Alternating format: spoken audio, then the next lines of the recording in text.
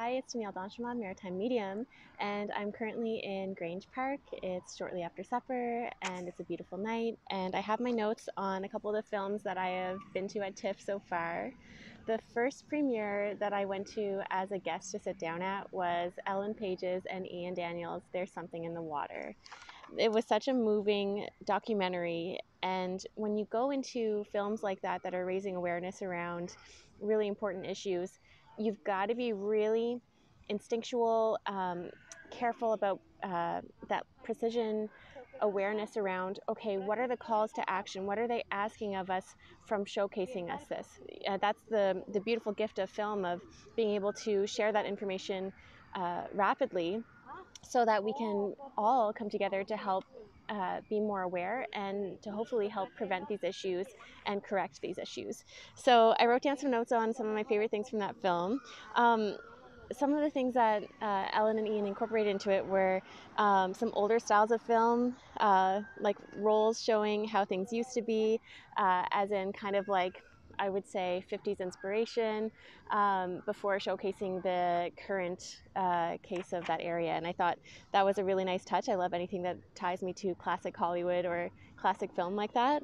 Um, what was really moving about that film for me too was uh, they had shown a map with um, dotted indications of where waste plants were placed and where minority communities reside. And when they gave you that visual uh, close together on the same map, it was um, a very important eye opener, and it, it really makes it clear um, the evidential case of what they are speaking into here.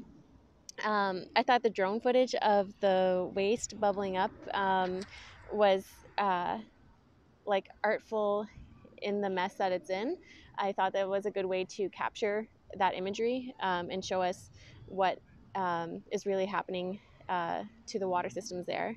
Um, the cohesive elements of seeing this were really interesting. So, um, yeah, like they were just so good about making sure that anyone that they brought on to share their personal stories, they had that um, continual structure. So they had uh, each woman that they were featuring um, in their vehicles, driving them to their locations, sharing from their hearts uh, why they felt the way that they did and what the truth in the personal um, and business elements were around that community, and just so moving. Um, some of the important takeaways from this um, were to really pay attention to uh, being purposeful about being less wasteful. So, one of the key points that one of the women made in the film was uh, addressing how uh, everything uh, we eat now, of course, comes with you know plastic or packaging. And she had mentioned how there wouldn't even be that mess if we had chosen not to go that route. So um, it was just another really important reminder of that. So I mean, I, I, keep thinking about wanting to eat more bananas or have more um, produce ever since watching the film. Truly, I keep thinking about it. Um, so that's really on my radar. The other thing um, they indicated one of the businesses that has been a problem for them is uh, Stop Alton Gas. Um, is kind of the um, business name around how to help with uh, what the indigenous communities are doing to uh, protect and correct these issues. So Alton Gas is the business. Um, and January of 2020 is actually a very important date. So um, contractually, they uh, had an agreement with um, their local politicians in Nova Scotia uh, to have this resolved by a certain date in January.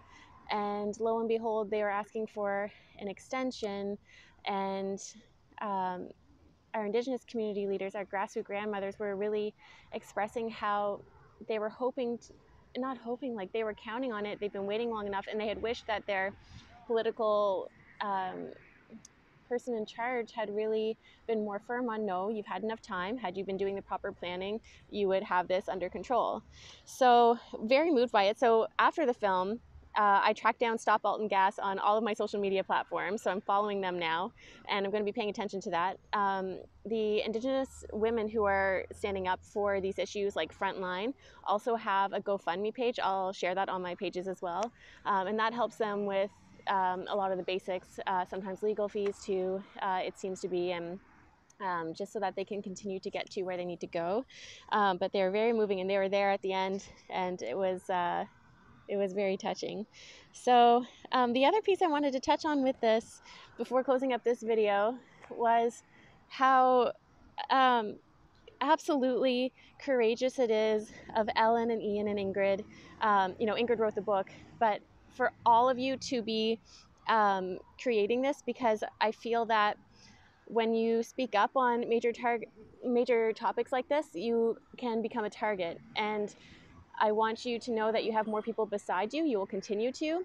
And I think the work that you're doing is very important. And I'm really grateful that I had the opportunity to see this film. So uh, I really look forward to following the opportunities with this. And one of the best comments that I heard after the film too um, was when uh, a professor in the Q and A had asked, um, basically, you know, how do I get this in my classroom uh, at the university? And I just was so impressed with um, that level of okay, let's advance this. Where are we going? Like, how do we continue to share this information right away? So I wanted to share about that. I've been having a really beautiful experience here, and um, that movie, uh, it's going to be uh, a very sincere highlight for me for all of my life, as that was the first TIFF premiere that I sat down on um, to fully enjoy as a guest, and I I just thank my lucky stars that um, the bar is set so high with that one. So um, I wanted to share my experience. There's other films to talk about too, but that one in particular is where I wanted to start. And uh, now I'm going to go and relax for a bit before um, this beautiful sun is tucked in for the night. So hope everyone has a great night. If you like these videos, uh, please like, share, and subscribe. And I highly encourage you to find Stop Alton Gas on all of your social media platforms and follow these beautiful women and the work that they're doing. Bye for now.